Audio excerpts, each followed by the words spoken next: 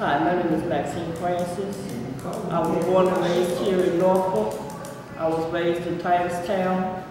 Um, I remember when Madison was the only black high school here in Norfolk.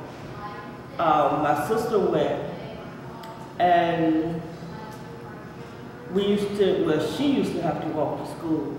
When I started school, I went to Titustown Elementary, um, I then went to Northside, and then I went to Granby. When I started Northside, we had just started wearing skirts to the knees. You could not wear pants to school. You could not wear anything tight. Um, I remember when bread was a dollar and something, flour was like 75 cents, a can of milk was 10 cents, eggs was like 75. It was a lot cheaper then. Um, we used to get a bag of cookies, uh, three, four dollars.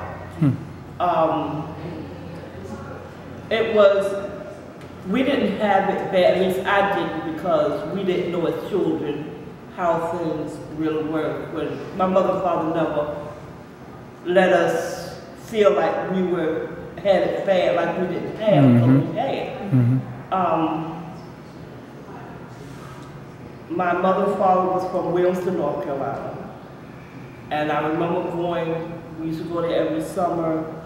I remember going to restaurants where on the outside, they had the water fountains which said black, like, um, you couldn't go in. And like I said, I don't, I don't remember a lot, but all I have to say is, and I'm saying this to the kids today, education is so important. That's something that can never be taken away from you.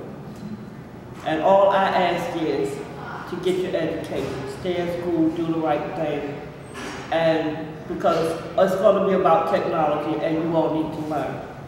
And that's all I have to say right now. Thank you.